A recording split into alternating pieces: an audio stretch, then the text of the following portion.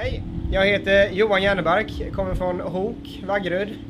Och eh, hit har jag då kört en eh, Opel Manta Holiday från 1971. Den ser väldigt fin ut. Är den lika fin som den ser ut? Ja, den är lackad både in, utvändigt och under. Okej. Opel Manta och du, hur, vad, vad är det för historia? Hur, hur kommer det sig att det blev just ni? Eh, pappa var Volvo-fantast och när jag såg en Opel Ascona B på rally en gång så var jag helfrälst. Sen började jag rannsaka och granska Opels eh, sortiment och eh, de hade ju jättemycket roligt då. Och sen Manta har jag fastnat för. Jag har i dagsläget nio stycken. Åh jösses då! Men du, ber, berätta då om Mantan. Vad, vad, alltså det för mig så är det liksom sportkupén. Den var lite fräck och snygg. Vad, vad fyllde den för funktion i Opels utbud? Ja, det var ett komplement och egentligen en, en konkurrent till eh, dåtidens Ford Capri. Ehm, de var ju konkurrenter på den tyska marknaden och försökte ju liksom att stjäla kunder från varandra. Eh, och det var ju den här sportkupén när man försökte vara lite som eh, Roger Moore och alla de här och köra som filmstjärnor då. Och eh, ja, då skulle det vara ett ut- utseende som tilltalade då med en kupé och lite längre motorhuv och lite slickade former. Men eh, nu ser jag, du har inga kofångare på. Är, är den här lite customiserad sådär eller såg den ut så här original? Ja, jag har, brukar ju ha en, jag har alltid en original som är helt standard. Sen brukar jag ha ett par stycken som är modifierade enligt tycke och smak. Och den här är ju anpassad för vallåkare då kan man säga. Men du, vad, vad är det för maskin? Är det, är det två liters eller? Ja, original är det då en eh, 1900 med förgasare.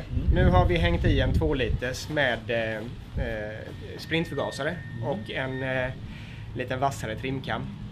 Och så lite andra ventiler och plana topp och extraktorgenrör och ett avgassystem och så. Men vad, och vad blir det då? Vad, vad tar man ut då? 140-150 eller vad vet man det? Alltså, När man kommer upp i min ålder så handlar det inte om effekt, då handlar det om känslan. Så att, eh, nej, vad kan man ha ökat? Kanske 20-30 häst någonstans där. Men hur är beskriv känslan att köra då? För att det, alltså, Oplarna slog ju det mesta på rallybanor och så. Hur, hur, hur är väghållning och så? Körkänslan?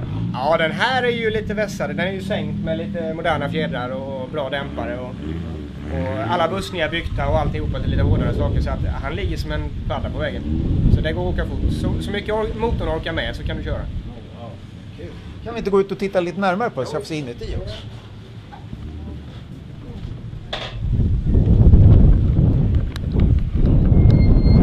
Ja, är det en, är det en Opel det här eller? Eh, detta är då en signalgul som satt, eh, detta är originalkulören på just den här bilen med svart vinyltak. Sen har jag kompletterat med Opels egna färger då med vita fälgar. Så har du ju Opels palett kan man säga. Ja. Nej, jättefint. Det är, jag blev lite extra. Jag tog nämligen körkort i en Ford Consul från 1974. Ja, du var lyckligt lottad. Ja, med nästan exakt den här färgen fast den var lite beigeare i och Mm. sen med brunt vinyltak. Så att, Mm. Men den kombon gör ju att man blir, det känns lite extra. så Ja, att jag säga. kan förstå det. Får jag kika inuti? Absolut. Här var det snyggt du.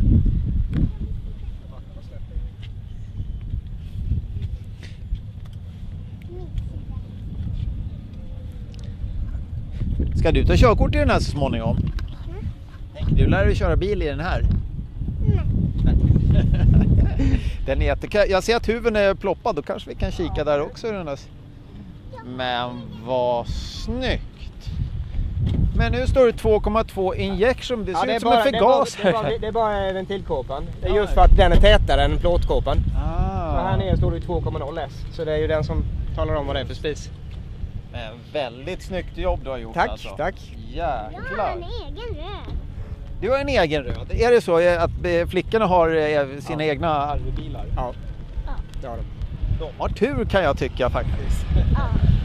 Men, men då ska jag fråga så här, för mig, jag älskar ju den här bilen men jag, alltså, jag kan inte komma åt att jag någonsin har sett en Manta till salu på Blocket. Jag ligger och tittar på allting före 1980 kan man säga. Ja. Hur, hur, hur svårt är det att få tag på en, på en Manta? Jag har ju som sagt, jag har ju sån tur så jag har ju kompisar som är som bryr sig om mitt intresse. Så att de, de letar och sen hittar de någonting och sen så då ringer de mig. Så det var en kompis som hittade den här på en liten radannons.